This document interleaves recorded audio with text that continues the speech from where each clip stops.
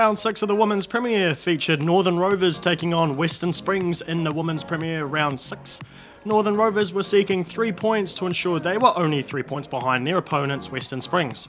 The side, coached by Ben Bate and Andrew Clay, featured National League stars Chloe Knott, Talisha Green, and Liz Savage. Western Springs, on the other hand, are currently unbeaten in the league with a 100% record and were looking to continue their fine form today at McFetridge Park. The return of American Casey Berry is something the side would be keen to have back from when we last saw Springs take on Hamilton Wanderers two weekends ago.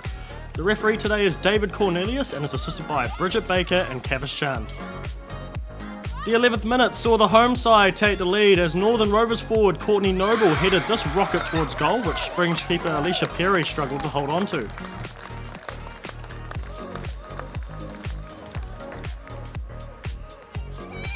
Springs was searching for something when Rena Hirano was sent in on goal, but Rovers keeper Jesse Barnard made a terrific save.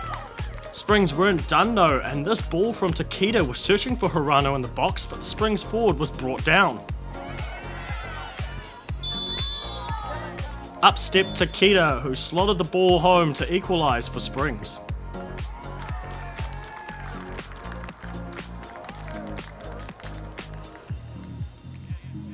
Rovers were looking to go in front, and with Talisha Green smacking this shot from point blank range, but Perry makes a terrific save to keep her side level.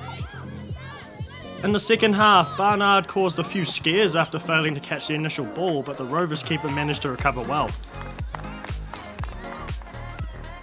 Liz Savage tried one from long range, but Perry makes a comfortable catch on the ball.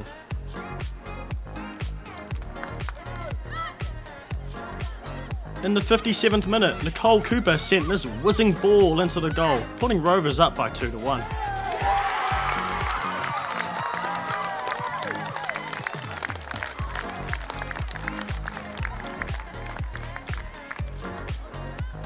Springs was searching for an equaliser yet again, and this goalmouth scramble had the Rovers' defence in sixes and sevens, but eventually winning a free kick. In the 70th minute, Talisha Green sent this floating ball into the box which Perry couldn't handle, and it fell to Savage who smacked it into the back of the net.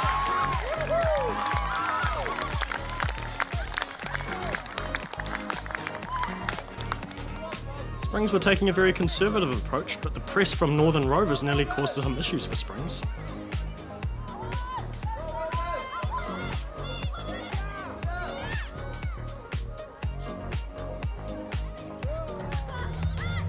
And already nearly made it four for Rovers, but Perry was up to the mark with this fantastic save.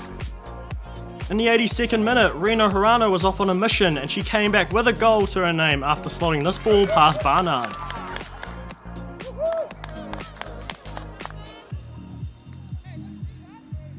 Springs were all over Rovers, but the home side were hoping to hold on for three points here. But in the 90th minute, Lily Jervis scored the equaliser for Springs with this header over the top over Barnard, levelling the game at 3 all.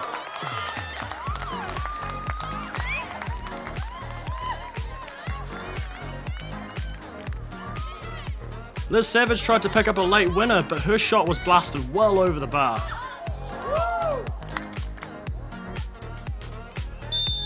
The match ended 3 all at McFetridge Park with both sides taking home a point each.